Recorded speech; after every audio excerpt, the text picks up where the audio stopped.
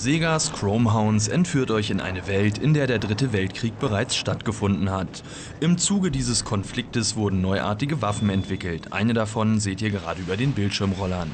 Diese Kampfmaschinen hören auf den Namen Hounds.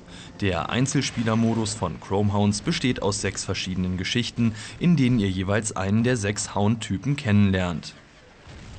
Wie ihr sicherlich schon bemerkt habt, ist Chromehounds kein sehr schnelles Spiel. Im Gegensatz zu vergleichbaren Titeln wie zum Beispiel Mac Assault 2 kommt es nicht auf schnelles Zuschlagen, sondern bedächtiges Vorgehen an.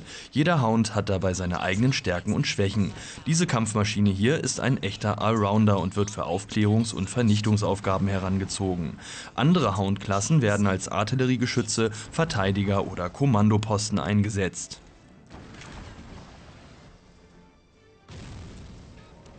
Mit einem sogenannten Verteidiger unterwegs. Die Maschinen haben fette Waffen und eine dicke Panzerung, sind aber aufgrund ihrer Geschwindigkeit leider nur für Verteidigungseinsätze geeignet. Das Missionsdesign von Chromehounds deckt sämtliche Genre-Standards ab. Mal verteidigt ihr euren Stützpunkt, versucht gegnerische Truppen aufzuspüren oder räuchert feindliche Hauptquartiere aus. Jeder Hound ist mit drei Waffensystemen ausgestattet. Um zu zielen gibt es zwei Möglichkeiten. Entweder ihr verlasst euch auf den kleinen Zielbildschirm in der Bildschirmecke oben rechts oder ihr schaltet in die Zielansicht, so wie ich es gerade gemacht habe, und erhöht so eure Trefferchancen. Gegnerische Kräfte lassen sich entweder mit einem gezielten Schuss ins Cockpit lahmlegen oder auf althergebrachte Art und Weise knacken. Bei Chromehounds spielt Taktik eine große Rolle. Nur wer sich vorsichtig an Gegner heranpirscht und aus der Deckung heraus zuschlägt, hat eine Chance. Ebenfalls wichtig sind die Kommunikationswege im Spiel.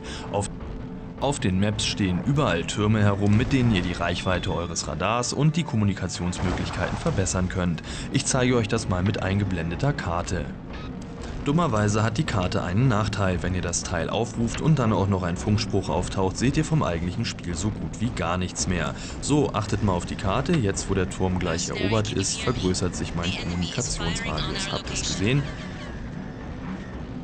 Die Kommunikationstürme sind besonders dann wichtig, wenn ihr später im Spiel den Job des Kommandanten übernehmt und euren Truppen mit einfachen Menüs Kampfbefehle erteilt.